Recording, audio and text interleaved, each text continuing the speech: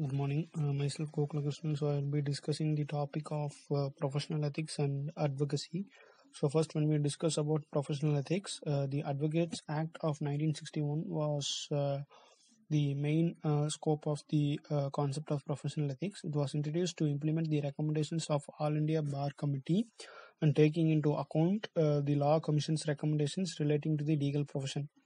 So the Parliament has established the Bar Council of India under Section 4 of the Advocates Act 1961. So as per Section 7 Clause 1 Clause B, the Council has to lay down standards of professional conduct and uh, etiquette uh, for the advocates. And Section 49 Clause 1 Clause C allows the Bar Council of India to make rules uh, as to suggest the uh, standard of professional conduct to be observed by the advocates.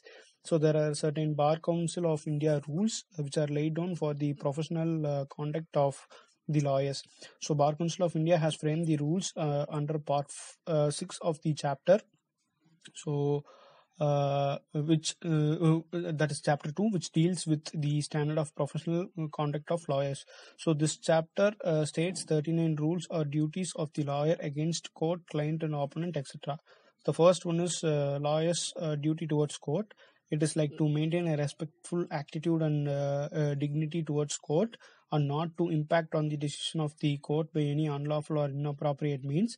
Uh, use the, their best effort to avoid their uh, like his clients from doing any unfair practice to appear in the court in the prescribed uh, dress code uh, to wear uh, bands and gowns only in the in the court and not in any cases of public cases or occasions not to plead in any manner in which he he is himself is interested etc when we discuss his duty towards client so uh, it, can be stated like once he accept uh, like the case then he should not withdraw from any uh, uh, like engagements or actions without uh, appropriate cause.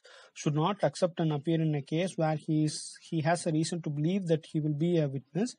Uh, he should support the interest of his client by all moral means and not to overpower any material or evidence which shall prove the innocence of the accused, uh, not to reveal the communications or talk uh, made by his client to him, uh, not to charge for his services depending on the success of the matter taken, uh, does not adjust uh, fees payable to him by his client against his liability to the client, and cannot make payments in favor of clients or cannot lend money to him for legal proceedings. If he has advised the party in a matter with the institution of the suit then he cannot appear for the opposite party for the same matter.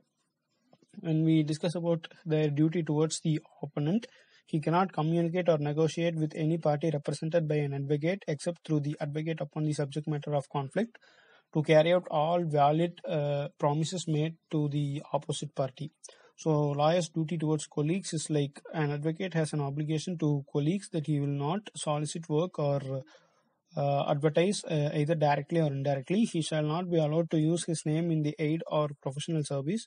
When a client can pay the fee, then he will not accept a fee less than the taxable uh, values and rules. So, like when we discuss about the punishment of for uh, professional misconduct, as per section 35 of the Advocates Act 1961, if a person is found guilty of professional misconduct, then the case will be referred to be a disciplinary committee. Then they fix a date of hearing and issue of notice to the advocate. So the disciplinary committee of the State Bar Council will hear both the parties. The court may dismiss the complaint uh, and may give warning to the advocate, suspend the advocate from practice for certain period of time, and remove the name of the advocate from the state rolls of advocate. Next one is uh, advocacy. So when we discuss about advocacy skills, advocacy can mean many things, but in general it refers to taking action. So advocacy simply involves uh, speaking and acting on behalf of uh, oneself or other. So there are uh, certain types of action that a person can take, like self advocacy, taking action to represent and advance uh, their own interest. Peer advocacy, taking action to represent the rights and interests of someone other than uh, yourself uh, systems advocacy, taking action into influential social and political and economic systems to bring out the change for groups of people. So when we discuss about the professional misconduct and advocacy, it can be said that professional ethics are not only important for advocates, it is like uh, uh, for it is applicable to every field. Like good ethics leads us to make respect in society and well work in the social life and personal life. Good morning. Uh, myself, Gokula Krishnan. So I'll be discussing the topic.